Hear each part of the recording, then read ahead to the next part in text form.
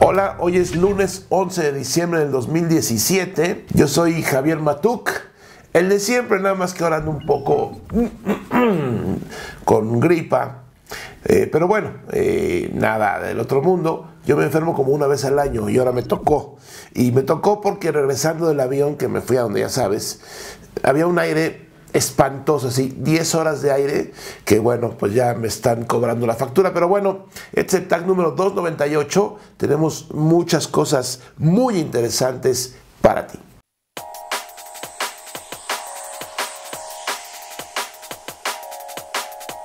Como ya sabes, seguramente Apple por fin confirmó la compra de Shazam, el servicio de pues básicamente reconocimiento de música que tiene ya varios años por ahí operando. ¿Y qué pasa con estas compañías importantes, interesantes en Silicon Valley? Alguien las quiere. Es una papa caliente en donde finalmente lo que buscan es la audiencia que tienen. Y en este caso Apple, quién sabe si lo va a integrar a sus siguientes versiones del iOS o del operativo, de las computadoras. Quién sabe qué va a hacer con él. El asunto es que esto pasa eh, no siempre, pero pasa de vez en cuando con algunas compañías que, como WhatsApp, ¿no? Salió a la venta y bueno, pues alguien la compró finalmente.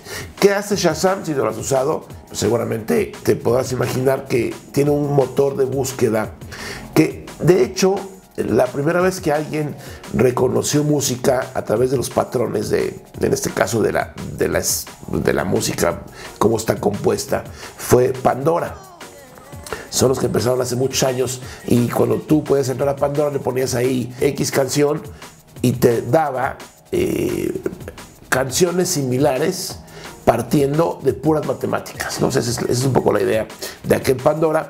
El Shazam creo que se le puedes cantar, ¿no? Sí, claro. cantas, cantareas, así como... Eh, pero sigo siendo el rey. Y entonces te dice, ah, es la canción del rey, etcétera. Entonces, bueno, finalmente se lo queda Apple. Ahí había invertido América Móvil, Carlos Slim, hace algunos años, invirtió 40 millones de dólares. Eh, como una inversión eh, y ahora pues ya que lo vendieron yo creo que no ganó tanto porque lo vendieron nada más en 400 millones y ese esos 40 que había metido Slim eh, equivalían como al 10% de la compañía, o sea que yo creo que se quedó tablas al fin de cuentas. ¿Pasa algo con esta noticia? No pasa nada. Finalmente, cuando Apple compra una compañía popular como esta Shazam, eh, es importante. Todavía falta ver qué pasa porque tenían un deal o un acuerdo Shazam con Spotify y obviamente pues, se va a acabar, ¿no? Me imagino, para favorecer a todo lo que es la oferta de música de Apple, que pues ahí está, no, no, no, no despega, ¿no? El Apple Music ahí está funcionando, pero no muy bien. Y siguen los rumores, siguiendo con Apple en esto del iPhone X barato.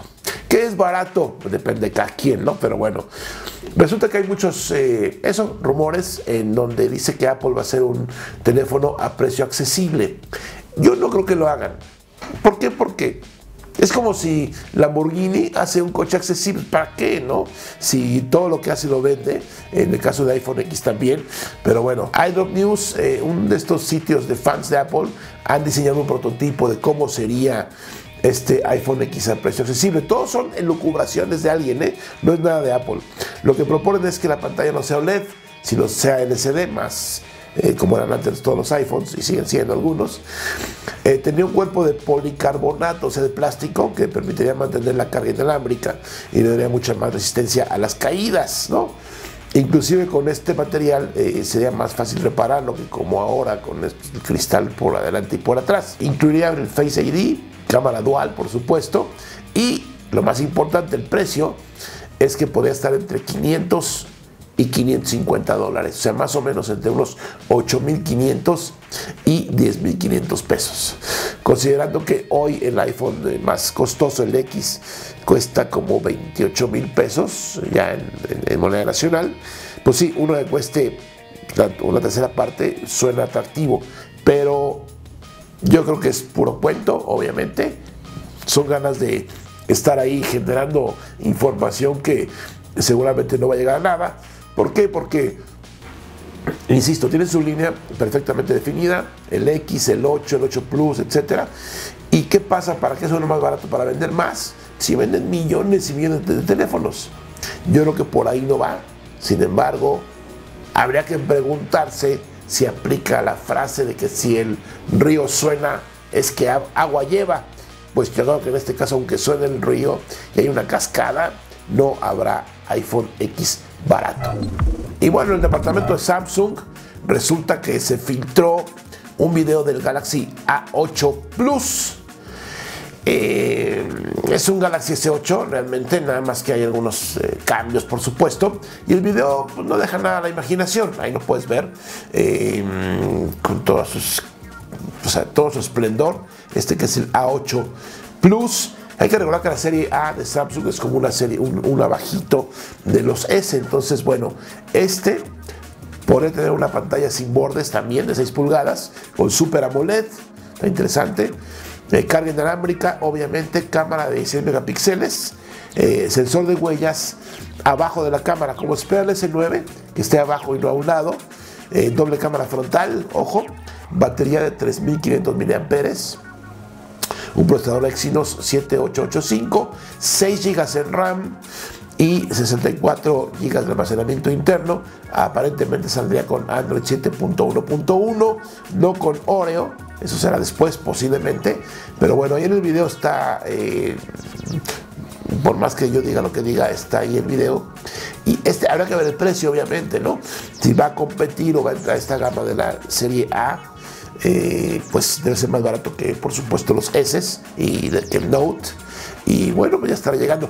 Esto lo pueden anunciar cuando. ¿Quién sabe? Puede ser, eh, aquí se menciona que a finales de diciembre, o sea, dentro de dos semanas. Ahora, este video es de Bangladesh, está muy lejos, otro mercado, otra economía. Pero bueno, es lo que tenemos del Samsung Galaxy A8 Plus. Justo el video se filtró hace un ratito y aquí te lo presentamos para que pues, lo veas, lo conozcas y cuándo estará disponible, quién sabe. Ahora, falta ver el asunto del S9, que ya dijimos que posiblemente se anuncie eh, en el CES, lo cual no creo. En, el, en Barcelona, en el Mobile World Congress, tampoco creo. Entonces, bueno, pues este. Espero que esté entendiendo lo que hablo, porque ni yo me entiendo, pero bueno, eh, continuamos con este tag agripado. Estamos con Hugo Montenegro, quien se encarga aquí de varios menesteres de cero, varios, pero bueno, básicamente sistemas. Y a ver, Hugo, el exceso de tiempo libre, ¿qué te hizo hacer? Pues es mm, un sistemita conectado a internet, le llaman el internet de las cosas. Ay, ajá. Entonces, lo que hicimos básicamente fue una prueba de lo que se puede hacer con Arduino. Okay. Esto fue pues, derivado de un tips and chips de Pontón para hacer un ejemplo de, lo, de las cosas que, que se pueden lograr. Perdón, yo vengo escuchando esta historia del Arduino hace como un año, ¿no? Menos. Cinco. Como, como, menos, como cinco. En donde, ¿y qué pasó del Arduino? Y, y, aquí digo, sí, ya, ya, ya pronto. Entonces, bueno, después de un eh, lapso de tiempo considerable, ya estamos aquí.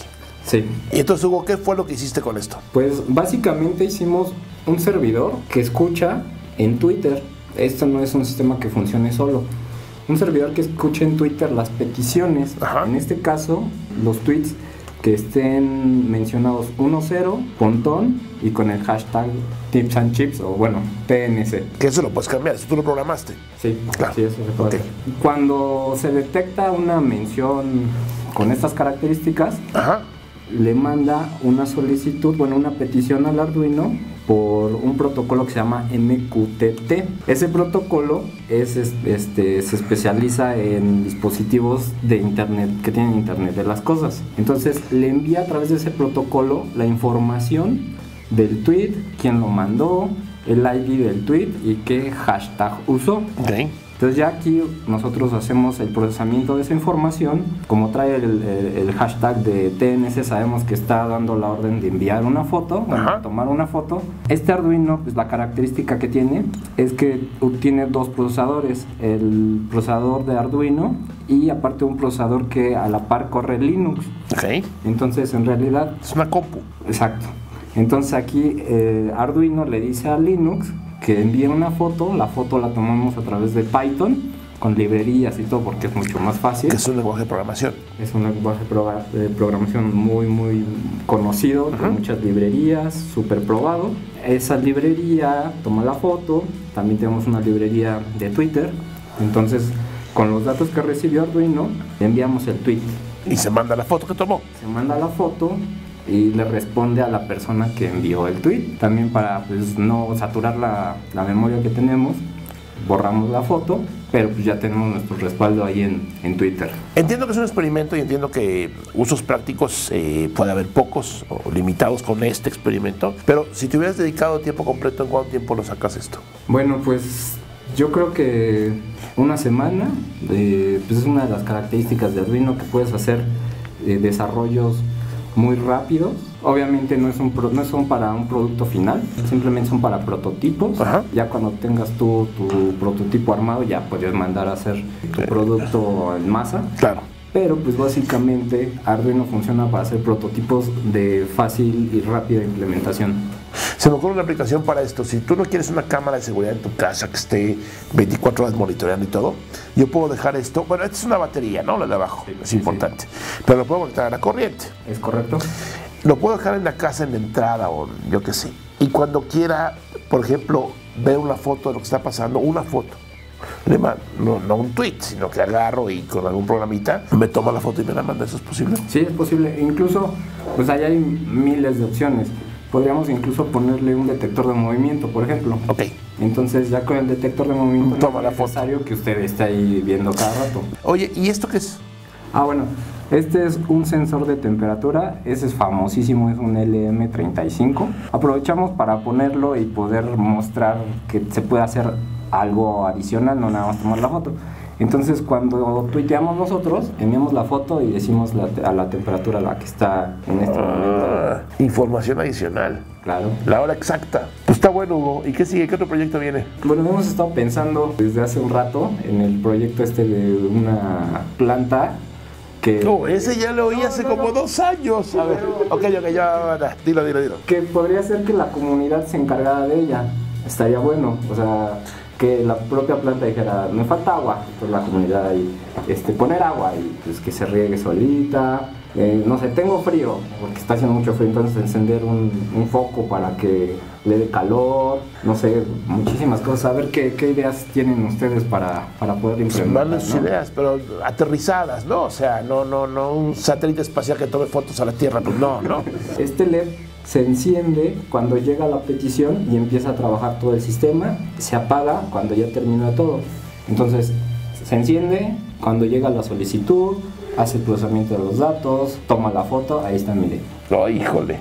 Toma la foto, la envía, bueno, la guarda, la tuitea, cuando se apaga, ya está disponible y libre para la siguiente petición. ¿Y cuántas fotos hemos enviado desde que está esto al aire? Pues varias, ingeniero, varias. Defíneme varias. Pues unas, calculo unas alrededor de unas 4000. ¿Cuatro mil fotos? Apenas. No tiene nada que hacer. No, no, no, qué barbaridad. Y para que veamos la foto ahorita es, le pongo un, hago un tweet que diga, hola, lo que sea, arroba jpontón, arroba 10, ¿Sí? gato, TNC, tips and chips. Es correcto. Mando el tweet y no me contesta nada, de inmediato. O sea, nomás se pues, manda. No de inmediato, eh, porque se toma tiempo en hacer todo el proceso, pero yo creo que unos 10, 15 segundos después le, haces la respuesta. A ver si es cierto. Tú agarras la cámara. Ok, ahí está. Le ponemos aquí, hola. Ajá. Ajá. Arroba J Pontón. Ajá. Arroba 10. Ajá. Gato. Gato, sí. TNC. TNC. Enviar. Enviar. Ahí está. Ya se fue.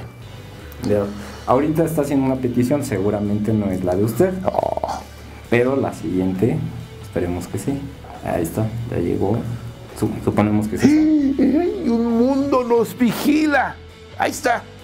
Si no te gustó la foto, intenta nuevamente, moveremos la cámara constantemente. Estamos a 20 puntos. Eso es mentira. Aquí adentro, afuera. Un frío. Qué interesante está. Manden su tweet, arroba jpontón, arroba 10, gato, TNC. Hugo, muchas gracias por la explicación. Ya veremos qué pasa con la plantita y demás. Bueno, estaremos atentos. Si saben esperar, esperen sentados, porque esto se tardó nada más como unos cuantos meses, lo de la planta. Hay que, hay que destacar que esto lo hace Hugo en su tiempo libre. O sea, finalmente le gusta todo el rollo de Arduino. Pues saber qué ocurrencias razonables, terrenales, nos ponen en los comentarios y las compartimos, ¿no? Claro que sí, ingeniero. Muchas gracias, Hugo. De nada, estamos para servirles. Y bueno, en comentarios tenemos ahora no tantos, porque el video que grabamos, bueno, que grabé ahí desde Kenia, no les gustó. No les gustó. Me regañaron por la cámara, pero como si yo fuera el fin del universo. Es que grabé mal hecho con la computadora, pensando que iba a quedar bien, pero pues no quedó bien y no hubo tiempo de volver a grabarlo. Entonces, bueno, creo que finalmente un poquito de baja resolución eh, no pasa nada, no, no, es tan importante, no es tan trascendente, pero bueno, Charles Frafra, hay gente que no tiene de comer, no tiene servicios, no tiene lo básico, pero vamos a llevarles equipo y terminales para hacer pagos digitales desde los smartphones. Entiendo tu posible enojo, pero precisamente la idea es esa. ¿Cómo metes a la gente que no tiene tantos recursos a las plataformas digitales, ¿no?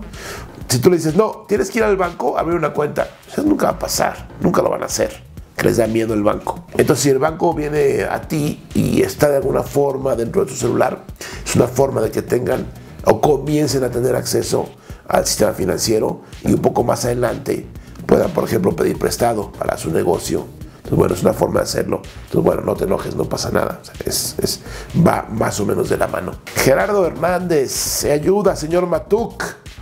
Estoy a punto de entrar a la universidad y después de varios años de haber estado seguro de querer estudiar ingeniería en computación, he recapacitado y ya no estoy seguro.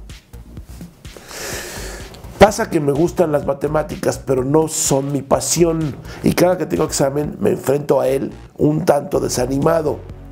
Recordé que antes pretendía estudiar diseño gráfico, pero me vuelve loco pasar de área 1 a área 4. Me gustaría saber qué estudiar ¿Qué estudian las personas? Pido disculpas por no recordar el nombre, como el Moped, para llevar a cabo la edición de video. Hay una carrera como tal. ¿Realmente se usan demasiado las matemáticas en computación? ¿O hay alguna área donde no se haga tanto uso de ellas? ¿Se ocurre diseño de páginas web? Bueno, yo creo que redacción siempre es bueno, ¿eh? Además de las matemáticas, siempre ayuda a redacción. Pero bueno, Gerardo, eh, vamos a preguntarle aquí al señor Alberto, ¿tú qué estudiaste? Yo en una carrera que se llama Ingeniería en Comunicación Multimedia.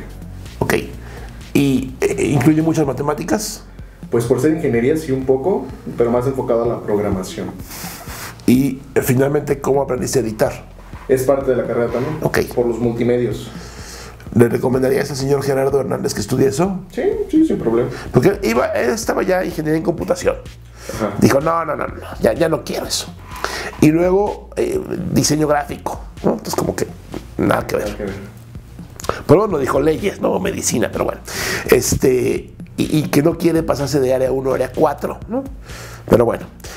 Y pide que, estudió el Moped, o tú, ¿no? Bueno, ¿el Moped estudió lo mismo? Sí, lo mismo. Ok, este, porque son hermanos, pero bueno, eh, eso es por el destino, eso es una casualidad. Este, Gerardo, yo creo que acaba área 1. El área 1 es bastante buena. Eh, las matemáticas nunca te van a sobrar. Nunca, nunca, nunca, nunca. O sea, las matemáticas se aplican siempre en cualquier cosa. Este, y, ¿me puedo repetir la carrera de ingeniería en qué? Comunicación multimedia. Ingeniería en comunicación multimedia o algo parecido. Eh, ingeniería en computación no sé bien qué hacen, porque no son programadores, ¿no? No sé. Eh, para programar, por ejemplo, ¿necesitas matemáticas? Sí, por supuesto. Entonces, eh, yo creo que las matemáticas están muy bien. Sigue estudiando matemáticas todo lo que puedas y puedes irte por la opción como la que estudiaron el Moped y su hermano. Pero bueno, hay que estudiar, eso es, eso es obvio. Antonio Ayala, disculpa, ¿se puede modificar la red 4G LTE del OnePlus 3T versión china para que sea compatible con la red 4G LTE en México? No. Es muy fácil entender lo de las redes cada red, o sea, cada frecuencia de red que un teléfono soporta, adentro tiene un cachito de un circuito, ese es hardware. Entonces, ¿por qué venden teléfonos con acceso a pocas redes? Por costo. para que sean más baratos. Entonces no se puede modificar porque es hardware. Si tu teléfono chino no soporta la, banda de la red 4G LTE en México u otro país, ya te amolaste. O sea, no hay forma de eh, activarle algo ahí por software, no solamente que tenga las bandas. Un teléfono de gama alta como un iPhone, un S8, un Note, que son, eh, se puede usar en todo el mundo. Eh, parte de lo que pagas, un cachito de lo que pagas, es que tiene dentro todos los radios, todas las frecuencias. Entonces no hay forma de modificarlo por software que yo conozca, que así es la historia. Jajamowi se encuentra en remodelación, es el nombre del usuario. Ingeniero Lord Matuk confieso que admiro sus videos y sobre todo la dedicación para no dejarnos sin tag, a pesar de los viajes que tiene que realizar. Excelente todo el trabajo que hace todo el equipo. Sí, jaja, muy, eh, muchas gracias. Es un trabajo en equipo. Yo grabo, pero aquí Alberto y su hermano editan y entre todos sacamos el tag adelante. No es nada más que yo agarre y grabe, porque entonces se quedaría con un video muy aburrido. Hay que editarlo postproducirlo, subirlo y todo, y es parte del equipo. Muchas gracias por tu comentario. Arturo Ibarra, hola ingeniero Matuk, muchos saludos y qué buen viaje. ¿Cuántas horas de viaje? Si puede desglosarlo con tiempos de espera en el aeropuerto y decir en dónde hizo escala, sería muy bueno, por curiosidad. ¿Le decimos? Poquito, pero viene un video. Sí viene un video especial de eso, pero ahí no me selecciona las horas, ¿o sí? Sí, yo Más o menos, sí, sí, sí. Mira, bien rápido. México, Londres, 11 horas. Aeropuerto de Londres, 5 horas. Londres, Nairobi, 8 horas. Eso es el vuelo y espera. De regreso, Nairobi, Londres, 8 horas. Me tuve que dormir en Londres porque no había vuelos. Estuve, llegué como a las 4 de la tarde, me fui el día siguiente en la mañana. Y Londres, México, igual 11, 11 y media horas. Y ya. Es, un México-Nairobi con una escala. No, más que está un poquito lejos, pero bueno. Bluca Rodríguez, caballero de armadura de oro. Podrías decir, ya que no tienen internet, tú que tienes la experiencia, ¿cómo podrías hacer una empresa así en un lugar como esos? Muy bueno el video. Habla de que yo creo. Claro que tienen internet. Kenia es la economía 70 del mundo, tampoco la 140. Es un país que apenas se independizó hace 50 y tantos años y por supuesto que tienen internet. Entonces no entiendo la pregunta. Y de, hecho en el hotel había un internet buenísimo, 70, 80 megas de bajada y de subida. Pero bueno, en el hotel, ¿no? obviamente. Entonces sí hay internet. Y están usando pagos por SMS hace 10 años, ¿eh? 10 años, es mucho tiempo. Entonces bueno, Android Black, desde Estados Unidos, luego desde Alemania, desde Kenia. Solo Lord Matuk se da esos lujos. ¿Qué le decimos a Android Black? Chamba. Sigue chambeando Android Black. Sigue chambeando. Pero bueno, no, ya en buena onda. Este, obviamente estos viajes eh, nos invitan, ¿no? O sea, no, no, no hay presupuesto, ni que fuera yo este funcionario público, ¿no? Eh, todos los viajes nos invitan, eh, nos pagan el boleto de avión, nos pagan el, eh, el, transporte, el hospedaje y cubrimos el evento, ¿no? Eso es un poquito cómo funciona esto. Si no, no habría forma de hacer todos los viajes que hacemos, lo cual agradecemos a las compañías que se preocupan en invitarnos. Y bueno, pues estos son los comentarios de este tag agripado. Pues ya nos vamos. La encuesta de la semana pasada nos fue regular. ¿Cuál crees que es el mejor asistente virtual de este año? Curiosa la pregunta porque yo no sé quién usa asistente virtual, pero bueno, preguntamos. 1267 votos hasta ahorita. Google Assistant gana con el 52%. ¿Pero qué? Yo creo que nadie lo ha usado, pero le votamos, no hay problema. Bueno, la pregunta es muy inocente. ¿Cuál tú crees que sea el mejor? ¿no? O sea, no cuál has usado más. Exacto. Luego Siri, 24%. Cortana, 15%. Eh, Bixby de, Samsung, 4%. Y Alexa de Amazon, 4%. Entonces ganó por un 52%, un buen margen, un Assistant que espero que así como le votan lo usen y lo, experimenten, ¿no? Hay que, hay, que, hay que usarlo. Pero bueno, ya nos vamos de este tag totalmente enfermo. Eh, bueno, yo, no el tag, eh, tag 298, viene el 299 y luego eh, el 300, platicaremos la siguiente semana. Pero en unos cuantos días vamos a subir un video de lo que pasó en Nairobi, ¿no? ¿Cómo se llama? ¿Blog? Sí. ¿Quién le puso blog a eso? Alguien lo inventó. Pero pues es un video, ¿no? Que de, los que hacemos hace mucho tiempo aquí, ahora se llaman blog. Entonces, eh, quédate aquí en el canal, por supuesto. Te invito a entrar a 10.com, que es nuestra plataforma web tradicional, en donde publicamos notas todos los días. Suscríbete, por supuesto. Tenemos un newsletter, te llega un correo todos los días con simplemente la información que consideramos más importante. No es un correote, es un correo con 5 o 6 notas. Suscríbete, ahí está eh, eh, entrando a 10.com está la información. Estamos en WhatsApp, por supuesto, mandándote WhatsApps, Twitter, Facebook, Instagram, con toda la información. Y quédate, por supuesto, aquí en 10.